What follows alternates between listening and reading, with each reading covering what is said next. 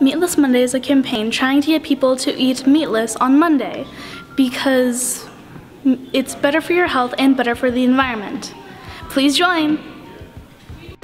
To all Bare Necessities participants and donators, thank you! We really appreciate all your effort this week. Hey Tommy, check this out. Peace Place has got paninis now. I wonder what kinds they have. This year we have caprese, turkey, and a new flavor of BLT. And they're only $4 and you can make it a meal for 5 Now we have pizza snacks, 5 for $2 and 10 for 3 We're selling soft pretzels for $2 with an option of cheese on the side. Don't forget, Tuesdays we sell breakfast, Wednesday we sell paninis. And the winner of this week's punch card drawing is... Noah Wright. Make sure to come down any lunch and grab your prize.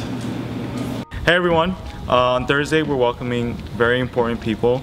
Uh, we will be having our Veterans Assembly. Please come and be respectful and show them what a great school we are. Also, tomorrow in advisory, you guys are gonna have an advisory lesson where you guys are given flags and you're supposed to write on it. What our goal is for this is we wanna write how you guys picture your freedom or your favorite things to do with the freedom that you've gotten because of our veterans. So please put a lot of thought into this or just say thank you to the amazing people that have helped put us in the place that we are today. Thanks guys!